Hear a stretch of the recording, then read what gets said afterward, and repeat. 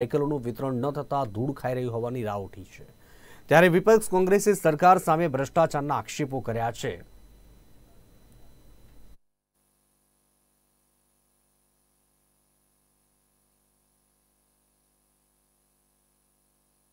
રાજ્ય સરકાર દ્વારા કન્યા કેળવણીને ઉત્તેજન આપવા માટે સરસ્વતી સાધના યોજના તળે લાભાર્થી દીકરીઓને સાયકલ આપવામાં આવે છે. જો કે બનાસકાંઠા જિલ્લામાં શૈક્ષણિક સત્ર શરૂ થયા અને બે મહિના વીતવા છતાં લાભાર્થી દીકરીઓને સાયકલ વિતરણ કરાયું નથી.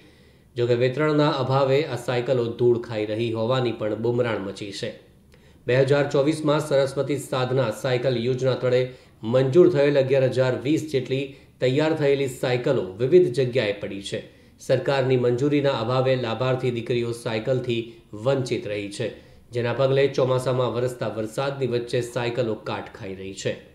જોકે અનુસૂચિત જાતિ કલ્યાણ વિભાગે સરકારનો લૂલો બચાવ કરતા જણાવ્યું હતું કે સરકારે એજન્સી પાસેથી હજી સાયકલોનો કબજો લીધો નથી.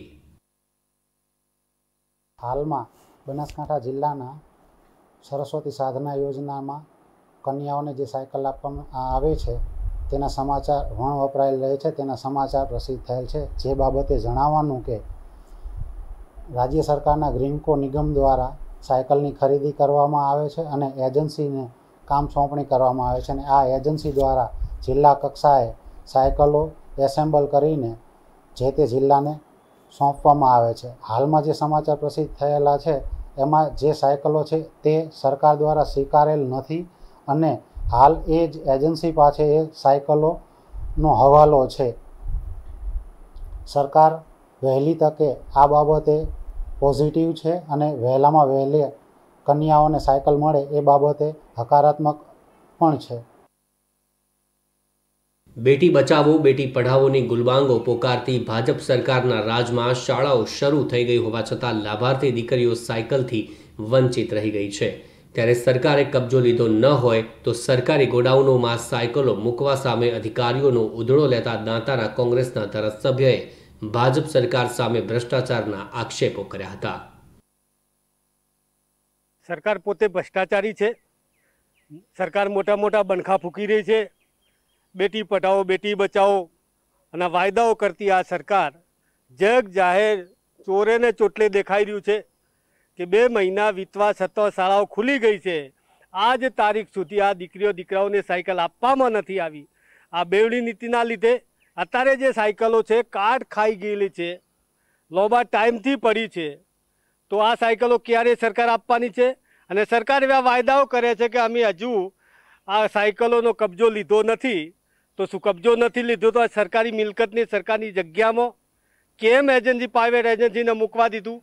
અથવા તો એમાં પણ કદાચ ભીનું સમેટવા માટે મૂકવા દીધું છે?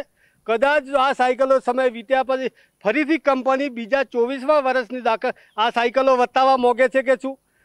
હમણાં નેતાએ અગિયાર એક કરોડનો જે ભ્રષ્ટાચાર કર્યો છે ને, એ તો એટલો પણ એમ કહેવાય કે છ ટકા ભ્રષ્ટાચાર કહેવાય કે વરસ વાઇઝ વરસ વીતી ગયા પછી આ જ નમૂનો બીજા વર્ષમાં વતાવીને આ સરકાર ભ્રષ્ટાચાર કરતી હોય એવું લાગી રહ્યું છે. સો ટકા એવું કહેવાય છે, આટલી ઢીલી નીતિ અપનાવતા હોય તો તાજેતરમાં જ લોકસભાની ચૂંટણી થઈ ત્યારે આવી એજન્સીઓ માટે ચૂંટણી બદલે લોકફંડ લીધું, લોકફાળો લીધો હોય, એના લીધે ઢીલી નીતિ સરકાર જાહેર જગ્યા અપનાવી રહી છે એવું અમને દેખાઈ રહ્યું છે.